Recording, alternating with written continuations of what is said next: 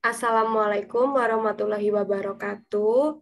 Uh, di sini kami akan mempresentasikan uh, tugas UAS dari mata kuliah Sistem Komputer. Di sini kami membuat simulasi yaitu pengatur suhu otomatis pada penetas telur. Dengan saya, Akhila Darin Makiah, dengan NIM 2006051101100 dan partner saya, Galvina Medianti dengan NIM 20060511099. Baik, langsung saja. Nah, eh, pengatur suhu otomatis pada penetas telur ini memiliki latar belakang dan tujuannya yaitu dalam produksi unggas tahapan untuk penetasan telur merupakan tahapan yang sangat penting, serta pada saat proses penetasan telur sangat dibutuhkan kualitas suhu yang baik. Suhu tidak boleh terlalu panas maupun terlalu dingin. Oleh karena itu, kami membuat pengatur suhu otomatis dalam penetas telur. Cara kerja rangkaian ini adalah uh, akan menyalakan heater atau pemanas ketika suhu di bawah minimum dan menyalakan kipas ketika suhu di atas maksimum. Dalam mengetahui suhu ruangan, alat ini menggunakan sensor suhu LM35. Untuk pemrosesan logika menggunakan Arduino. Untuk output di sini menggunakan kipas dan heater diwakili oleh indikator lampu. Nah, selanjutnya eh, berikut ini adalah gambar dari rangkaian pengatur suhu otomatis pada pentas telur.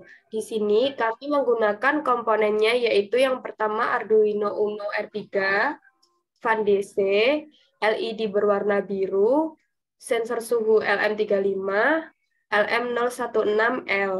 Nah, langsung saja kita beralih pada Proteus. Nah, jadi uh, rangkaian ini uh, yang pertama yaitu pada LCD, pada pin RS, ini disambungkan pada pin 12 di Arduino. Selanjutnya pada pin E, pada pin E LCD akan disambungkan ke pin 11 pada uh, Arduino. Selanjutnya, pada pin D7 di LCD akan disambungkan pada pin 7 di Arduino. Lalu, pin D6 pada LCD disambungkan pada pin 6 Arduino. Pin D5 dari LCD disambungkan pada uh, pin 5 pada Arduino. Lalu, pin D4 LCD akan disambungkan pada pin 4 dari Arduino. Nah, selanjutnya pada pin RW ini disambung pada LCD disambungkan ke ground. Lalu pin VDD ini pada LCD disambungkan uh, ke power. Lalu pin uh, eh, LCD yang VSS yang nomor satu ini disambungkan ke ground. Nah, selanjutnya di sini uh, ada juga kipas. Nah, kipas ini yang part bagian kiri disambungkan pada pin nomor satu pada Arduino. Lalu LED blue dia sebagai heaternya yang part bagian kiri disambungkan pada pin nomor 2 di Arduino. Selanjutnya yang pin uh, port sebelah kanan pada LED blue ini disambungkan pada port sebelah kanannya kipas, lalu diberi, diberikan ground di sini. Nah, lalu ke bawah di sini ada sensor suhu LM35.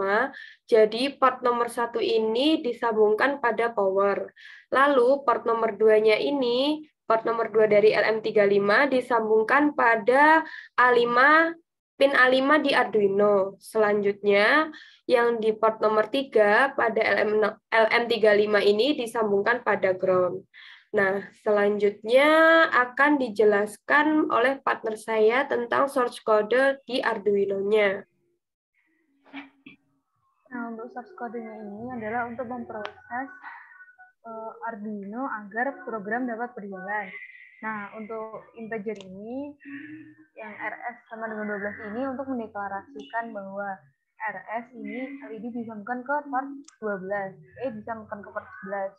Nah, begitu juga pada ini, pada suhunya ini. Nah, suhu ini dideklarasikan sebagai tipe data integer. Kemudian kipas disambungkan port 1, pemanas port 2, dan seterusnya. Nah, di bawahnya ini terdapat metode setup. Nah, metode setup ini untuk uh, menginisialisasi bahwa kipas dan pemanas yang tadi itu dijadikan sebagai outputan. Lalu untuk metode loop ini perulangan untuk memproses program agar program itu dapat berjalan. Jadi di sini ada kondisi if. Jika suhu lebih kecil dari suhu minimum, maka kipas akan kipas akan mati dan pemanas akan menyala. Lalu LCD akan memprint heater on. Nah, jika suhu lebih besar dari maksimal suhu, maka kipas akan menyala dan pemanas akan mati. Dan LCD akan print kipas on. Nah, jika suhu normal, maka suhu akan normal dan kipas dan pemanas tidak menyala keduanya. Nah, di sini kita akan mencoba meranin programnya.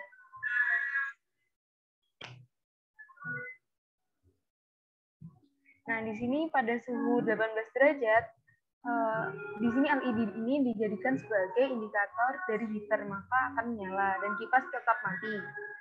Kemudian ketika suhu normal, ketika suhu normal uh, masih seperti ini, suhu tercatat suhu normal.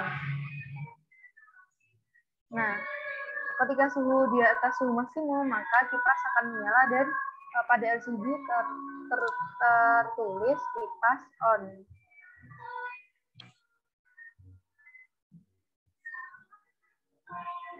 Nah, sekian dari kami presentasinya kurang lebihnya mohon maaf. Wassalamualaikum warahmatullahi wabarakatuh.